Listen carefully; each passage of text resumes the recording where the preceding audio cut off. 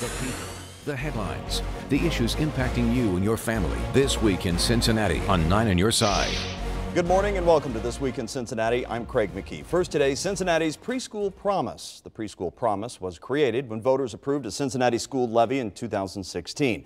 $15 million from that $48 million annual levy is set aside to provide preschool for three and four year olds. Nearly 1,500 students now receive tuition assistance through that program. And joining us today and this morning to bring us up to speed on how the program is going is the Preschool Promise's Executive Director, Shiloh Turner, and Interim Director for Early Childhood with Cincinnati Public Schools, Vera Brooks. Thank you both for being here. Thank, Thank you for. So having us. So here we are in this first year. Um, what has been the biggest challenge in trying to get your training wheels off and let this program really flow? Sure, I, I, I'll take Yes, that, and then you can do. respond if you'd like. Uh, the I think in the first year, it, because it was a new initiative, we really had to put a lot of the infrastructure in place. So, for example, our board of directors, getting our 501c3 status, hiring staff, and then of course putting the infrastructure in place to actually um, enroll students and identify and work with providers. So a lot of that early work in year one has been accomplished, and uh, special thanks to interim executive director Stephanie Bird because she really led a lot of that early work prior to my coming on board um, this past February.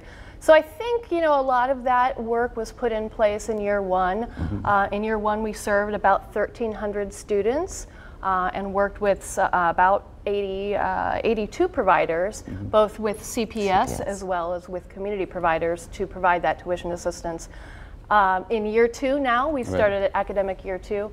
All of that was already in place, so it was really a much smoother mo- enrollment process.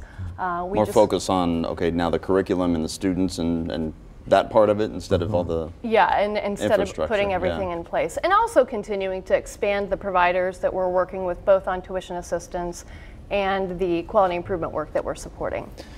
The some of the the first year uh, quota numbers, I guess, you, not enough qualified teachers, not enough qualified daycare centers, uh, and there was no tuition for three-year-olds who attended private, parochial, or in-home preschool. That has changed. That in has academic changed. too. Okay. Yep, And where do you stand with qualified teachers and centers? You know, qualified teachers are going to be a continued challenge. There, there is a teacher pipeline challenge, uh, not just here in Cincinnati, but nationwide.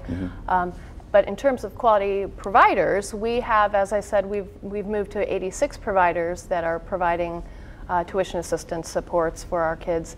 And we're also working through our quality improvement supports to help centers that are not yet quality rated. And by that, I mean the state has a step up to quality system, and we define quality as a three star, four star, or five star. But if your center is unrated or one star or two star, you can receive quality improvement supports through our quality improvement program, which can include things like curriculum, it can provide um, additional training for your teachers, Okay. it can provide materials and other things that you need for the classroom. And as we work through the quality improvement process, we will have additional quality seats that are created in our community. You're looking at $15 million uh, out of this out of this levy. It's a five-year levy. Is 15 million enough? Are you finding that 15 million is enough? Can you stretch that over the five-year period? I think we're looking at different, at Cincinnati Public, um, we have a variety of funding sources. So our preschool promise dollars are our last dollars in. Um, all of our classrooms this year have highly qualified teachers, and we're able to service more students. We're expanding, and we're expanding again in January. Um, so we're looking at where in those areas is there a need that there that providers and our classrooms are at and where they're not at so then we can look and see okay where can we service more families?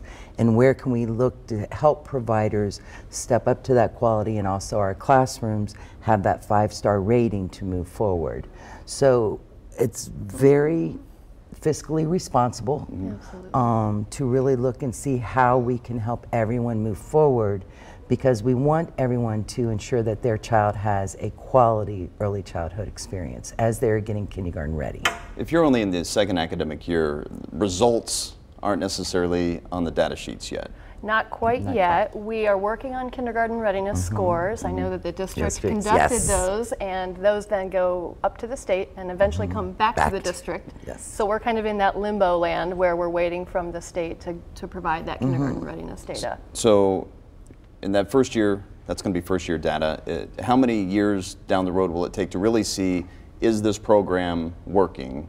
And is the $15 million uh, worth the taxpayers to, to possibly vote again for this levy five years down the road? I think we'll show growth. This year we're collecting that baseline data. Yeah.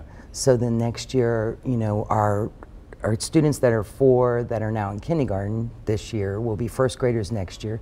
So as we continue to look and see how their growth, um, both academically and socially emotionally, um, we'll be able to see positive results. Um, we're really working on that quality improvement, and we're really looking at how can we provide professional development for our providers and for our teaching staff within St- Cincinnati Public Schools that they are prepared to serve our three and four year olds Right. um, for a quality education and that they're ready when they walk in that kindergarten classroom.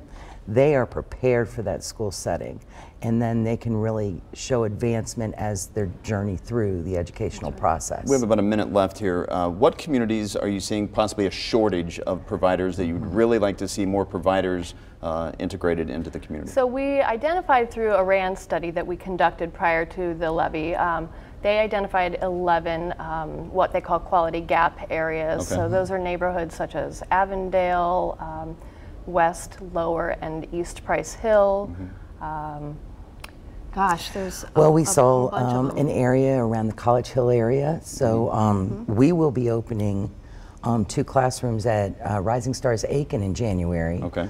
Also, um, uh, more on the west side of town, we see that we need more providers and classrooms to service families. So we'll also, um, we're expanding in January to Sayler Park. We're adding a classroom there.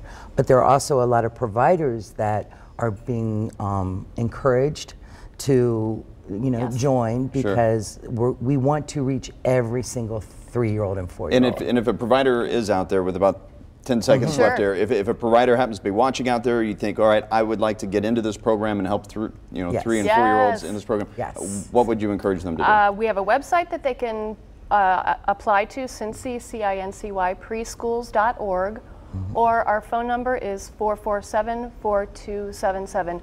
And that contact information is valid both for providers that want to get involved, but also families that may be eligible to receive tuition assistance. all right. Shiloh Turner, Vera Brooks, thank you both for being here today. Thank, Thank you very you. much.